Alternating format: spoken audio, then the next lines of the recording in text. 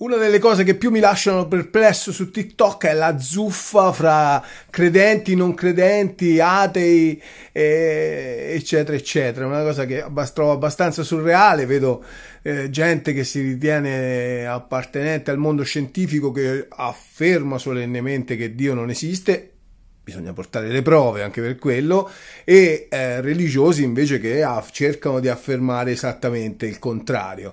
Ecco, in entrambi i casi io penso che mh, mm, ci sia una via di mezzo che è quella che ritengo più razionale e più interessante, che sia quella del eh, dell'agnosticismo, cioè nel senso nessuno può veramente portare delle prove.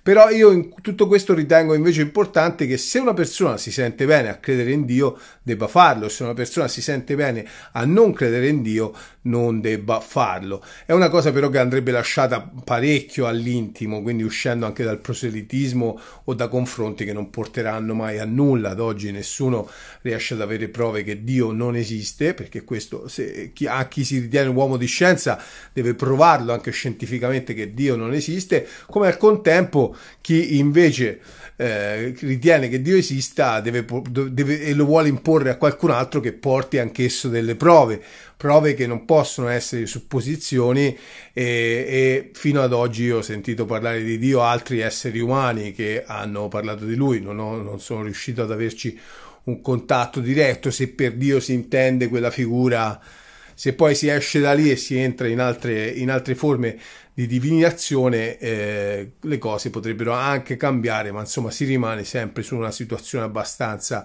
mistificatrice della realtà.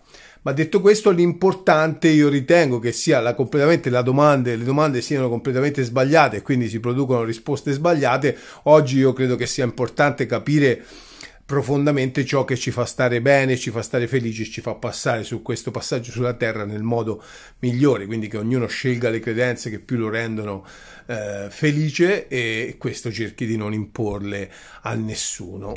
Purtroppo noi esseri umani abbiamo una cavezza sola, unica e solida e pensiamo che la nostra interpretazione della realtà sia l'unica vera, reale e concreta. Abbiamo parecchia strada da fare. Io credo che in questo una parte della scienza stia lavorando veramente bene nel dimostrarci quale sia la via e quanto l'osservatore abbia influenza sulla realtà che ci circonda.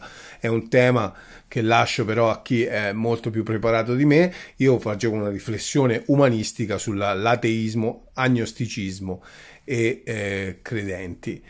Eh, vi lascio a questa microclip. Sono atea nel senso appunto io non credo assolutamente in Dio non credo nell'aldilà, non credo nell'anima, credo l'anima sia il nostro cervello. Agnostico è uno che eh, ha dubbi, che eh, non sa se Dio esiste, se non esiste, e quindi un essere perfettamente razionale dovrebbe essere agnostico.